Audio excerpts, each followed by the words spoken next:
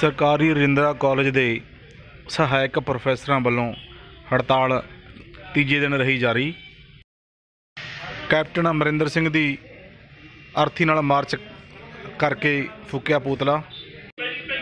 ਸਾਰੇ ਪ੍ਰੋਫੈਸਰ ਪੂਰੇ ਰੋਹ ਉਹਨਾਂ ਕਿਹਾ ਕਿ ਜੇ ਸਰਕਾਰ ਸਾਡੀਆਂ ਮੰਗਾਂ ਜਲਦ ਪੂਰਾ ਨਹੀਂ ਕਰਦੀ ਤਾਂ ਸੰਘਰਸ਼ ਹੋਰ ਤਿੱਖਾ ਕੀਤਾ ਜਾਵੇਗਾ।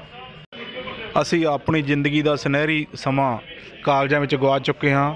ਸ- ਸਰਕਾਰ ਆਪਣੀਆਂ ਮਾਰੂ ਨੀਤੀਆਂ ਵਾਪਸ ਲਵੇ ਤਾਂ ਉਹਨਾਂ ਵਿੱਚ ਜਾਂ ਉਹਨਾਂ ਵਿੱਚ ਸੋਧ ਕਰਕੇ ਸਮੂਹ ਗੈਸ ਫੈਕਲਟੀ ਪ੍ਰੋਫੈਸਰਾਂ ਨੂੰ ਪੱਕਾ ਕੀਤਾ ਜਾਵੇ।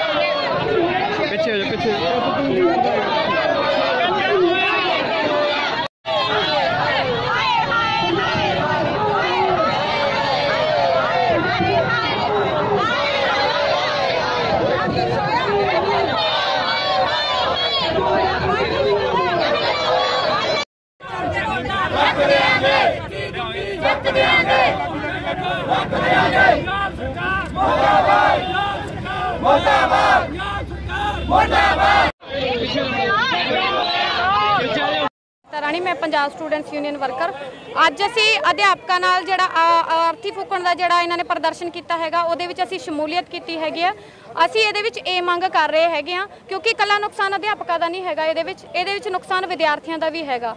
ਅੱਜ ਸਰਕਾਰ ਜੇ ਇਹਨਾਂ ਨੂੰ ਬਿਨਾਂ ਸ਼ਰਤ ਤੋਂ ਪੱਕੇ ਕਰਦੀ ਹੈਗੀ ਹੈ, ਤਾਂ ਸਾਡੇ ਉੱਤੇ ਜਿਹੜਾ ਪੀਟੀਏ ਫੰਡ ਦਾ ਬੋਝ ਵਧਾਇਆ ਜਾ ਰਿਹਾ ਹੈਗਾ, ਉਹ ਘਟ ਸਕਦਾ ਹੈਗਾ। ਅਸੀਂ ਸ- ਸਰਕਾਰ ਤੋਂ ਇਹ ਮੰਗ ਕਰਦੇ ਹਾਂ ਕਿ ਇਹਨਾਂ ਨੂੰ ਬਿਨਾਂ ਸ਼ਰਤ ਪੱਕੇ ਕਰੇ ਤੇ ਵਿਦਿਆਰਥੀਆਂ ਦਾ ਜਿਹੜਾ ਫੀਸਾਂ ਦਾ ਬੋਝ ਪਾਇਆ ਜਾ ਰਿਹਾ, ਉਹ ਘਟਾਇਆ ਜਾਵੇ। ਮੈਂ ਸਰਬਜੀਤ ਸਿੰਘ ਜੀ, ਅਸੀਂ ਗਵਰਨਮੈਂਟ ਰਜਿੰਦਰਾ ਕਾਲਜ ਦੇ ਵਿੱਚ as a assistant professor job ਕਰਦੇ ਆਂ ਠੀਕ ਹੈ ਸਾਡੇ 48 ਕਾਲਜ ਹੈ, ਸਰਕਾਰੀ ਕਾਲਜ ਹੈ। ਤੇ ਸਾਰੇ ਸਰਕਾਰੀ ਕਾਲਜਾਂ ਦੇ ਵਿੱਚ ਅੱਜ ਤੀਜੇ ਦਿਨ ਦੀ ਜਿਹੜੀ ਹੈਗੀ ਹੈ, ਹੜਤਾਲ ਸ਼ੁਰੂ ਹੋ ਗਈ। ਅਸੀਂ 2 ਤਰੀਕ ਨੂੰ ਇੱਕ ਚੇਤਾਵਨੀ ਹੜਤਾਲ ਕੀਤੀ ਸੀ, ਚੇਤਾਵਨੀ ਵਜੋਂ ਹੜਤਾਲ ਕੀਤੀ ਸੀ। ਸਰਕਾਰ ਜਿਹੜੀਆਂ ਗੁੰਗੀ ਤੇ ਬੋਲੀਆਂ ਸਰਕਾਰਾਂ, ਉਹਨਾਂ ਦੇ ਕੰਨ ਖੋਲ੍ਹਣ ਵਾਸਤੇ।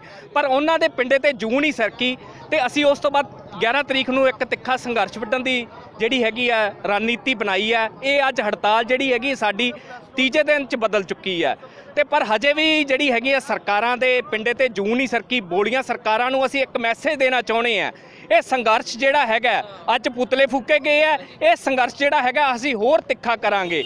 ਇਹ ਸੰਘਰਸ਼ ਅਸੀਂ ਜਿਹੜਾ ਹੈਗਾ, ਸੜਕਾਂ ਦੇ ਉੱਤੇ ਲੈ ਕੇ ਆਵਾਂਗੇ, ਸੜਕਾਂ ਤੇ ਨਾਅਰੇਬਾਜ਼ੀ ਕਰਾਂਗੇ, ਠੀਕ ਹੈ, ਰੋਸ ਮਾਰਚ ਕਰਾਂਗੇ ਤੇ ਉਸ ਤੋਂ ਬਾਅਦ ਜੇ ਲੋੜ ਪਈ ਤੇ ਮੰਤਰੀਆਂ ਦੀਆਂ ਕੋਠੀਆਂ ਦਾ ਘਰਾਓ ਵੀ ਕੀਤਾ ਜਾਊਗਾ।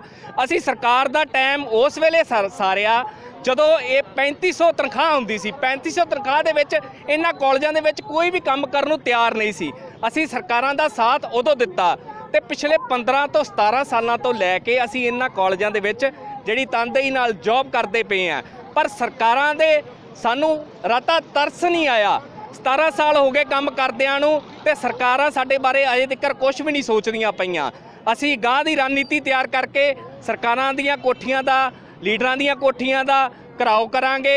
ਸਾਡੀਆਂ ਜਾਇਜ਼ ਮੰਗਾਂ ਨੂੰ ਜਿਹੜਾ ਹੈਗਾ ਬਿਨਾਂ ਕਿਸੇ ਸ਼ਰਤ ਤੋਂ ਪੱਕਾ ਕੀਤਾ ਜਾਵੇ ਸਾਨੂੰ, ਅਸੀਂ ਸਰਕਾਰ ਤੋਂ ਇਹੀ ਮੰਗ ਕਰਦੇ ਹਾਂ। ਪਿਛਲੇ 3 ਦਿਨਾਂ ਤੋਂ ਸਾਡਾ ਧਰਨਾ ਗਾ ਜਿਹੜਾ ਧਰਨਾ ਪ੍ਰਦਰਸ਼ਨ ਜਾਰੀ ਹੈ ਸਰਕਾਰ ਦੀਆਂ ਨੀਤੀਆਂ ਦੇ ਖਿਲਾਫ। ਸਰਕਾਰ ਨੇ ਜਿਹੜੀਆਂ ਬੇਤੁਕੀਆਂ ਨੀਤੀਆਂ ਬਣਾ ਕੇ ਪੱਕੇ ਕਰਨ ਜਾ ਰਹੀ ਹੈ ਉਹਨਾਂ ਦੇ ਵਿੱਚ ਸਾਡਾ ਇੱਕ ਵੀ ਅਧਿਆਪਕ ਆ ਜਿਹੜਾ ਨਹੀਂ ਆਉਂਦਾ। ਅਸੀਂ ਕਹਿੰਦੇ ਆ ਵੀ ਬਿਨਾਂ ਸ਼ਰਤ ਤੋਂ ਸਾਨੂੰ ਆ ਜਿਹੜਾ ਪੱਕਾ ਕੀਤਾ ਜਾਵੇ, ਸਰਕਾਰ ਸਾਡੀ ਗੱਲ ਨਹੀਂ ਸੁਣਦੀ। ਇਸ ਕਰਕੇ ਅਸੀਂ ਪਿਛਲੇ 3 ਦਿਨਾਂ ਤੋਂ ਧਰਨੇ ਤੇ ਬੈਠੇ ਆ। ਅੱਜ ਅਸੀਂ ਡੀਸੀ ਆਫਿਸ ਤੱਕ ਚੱਕਰ ਲਗਾ ਕੇ ਜਿਹੜਾ ਹੈਗਾ ਕੈਪਟਨ ਸਰਕਾਰ ਦਾ ਪੁਤਲਾ ਫੂਕਿਆਗਾ। ਜਦੋਂ ਤੱਕ ਸਰਕਾਰ ਸਾਡੀ ਮੰਗ ਨਹੀਂ ਮੰਨਦੀ, ਉਦੋਂ ਤੱਕ ਸਾਡਾ ਧਰਨਾ ਪ੍ਰਦਰਸ਼ਨ ਇਸੇ ਤਰ੍ਹਾਂ ਜਾਰੀ ਰਹੂਗਾ। ਹੋਰ ਵੀ ਤਿੱਖਾ ਅਗੇਰੇ ਦਿਨਾਂ ਦੇ ਵਿੱਚ ਹੁੰਦਾ ਜਾਊਗਾ। ਜਿੰਨੀ ਦੇਰ ਸਰਕਾਰ ਦੇ ਕੰਨਾਂ ਤੇ ਜੂ ਨਹੀਂ ਸਰਕਦੀ ਅਸੀਂ ਆਪਣੇ ਬੱਚਿਆਂ ਨੂੰ ਆਪਣੇ ਸਟੂਡੈਂਟ ਯੂਨੀਅਨ ਨੂੰ ਤੇ ਆਪਣੇ ਸਾਰਿਆਂ ਆਪਣੇ ਪਰਿਵਾਰਾਂ ਨੂੰ ਨਾਲ ਲੈ ਕੇ ਸੜਕਾਂ ਤੇ ਉਤਰਨ ਨੂੰ ਤਿਆਰ ਬੈਠੇ ਆ ਅੱਜ ਜੀ ਅਸੀਂ ਕੈਪਟਨ ਸਰਕਾਰ ਦਾ ਅਹ, ਪੁਤਲਾ ਫੂਕਿਆ ਹੈ। ਪੁਤਲਾ ਫੂਕਿਆ ਹੈ। ਸਾਨੂੰ ਤਿੰਨ ਦਿਨ ਹੋ ਗਏ ਲਗਾਤਾਰ ਸਟ੍ਰਾਈਕ ਤੇ ਬੈਠਿਆਂ ਨੂੰ ਪਰ ਸਾਡੀ ਸਰਕਾਰ ਬਿਲਕੁਲ ਵੀ ਕੋਈ ਵੀ ਗੱਲ ਸੁਣਨ ਨੂੰ ਤਿਆਰ ਨਹੀਂ ਹੈ ਅਸੀਂ ਜਿਵੇਂ ਜਿਵੇਂ ਇਹ ਸਰਕਾਰ ਸਾਡੀ ਗੱਲ ਨਹੀਂ ਸੁਣੇਗੀ ਅੱਜ ਸਾਡਾ ਸੰਘਰਸ਼ ਜਿਹੜਾ ਜਾਊਗਾ। ਅੱਜ ਸਿਰਫ ਅਸੀਂ ਡੀਸੀ ਆਫਿਸ ਤੱਕ ਗਏ ਆ ਡੀਸੀ ਆਫਿਸ ਤੱਕ ਗਏ ਆ ਆਪਣਾ ਮਾਰਚ ਕਰਦੇ ਹੋਏ। ਕੱਲ ਨੂੰ ਸਾਰਾ ਸੜਕਾਂ ਤੇ ਉਤਰਾਂਗੇ, ਸੜਕਾਂ ਜਾਮ ਵੀ ਕਰਾਂਗੇ, ਸਾਰਾ ਕੁਝ ਕਰਾਂਗੇ, ਜਦੋਂ ਤੱਕ ਸਰਕਾਰ ਸਾਡੇ ਮੰਗਾਂ ਨਹੀਂ ਮੰਨੂਗੀ। ਤਾਂ ਇਹ ਸੰਘਰਸ਼ ਤਿੱਖਾ ਹੁੰਦਾ ਜਾਊਗਾ, ਦਿਨੋਂ ਦਿਨ ਸਾਡਾ ਸੰਘਰਸ਼ ਤਿੱਖਾ ਜਾਂ- ਹੁੰਦਾ ਜਾਊਗਾ। ਸਰਕਾਰ ਜਦੋਂ ਤੱਕ ਸਾਡੇ ਗੱਲਾਂ, ਮੰਗਾਂ ਨਹੀਂ ਮੰਨਦੀ ਬਠਿੰਡਾ ਸਰਗਰਮੀਆਂ ਦੇਖਣ ਲਈ ਤੁਸੀਂ ਸਾਡੇ ਚੈਨਲ ਨੂੰ ਸਬਸਕ੍ਰਾਈਬ ਕਰੋ, ਬੈਲ ਆਈਕਨ ਦਾ ਬਟਨ ਦਬਾਓ ਅਤੇ ਲਾਈਕ ਕਰੋ।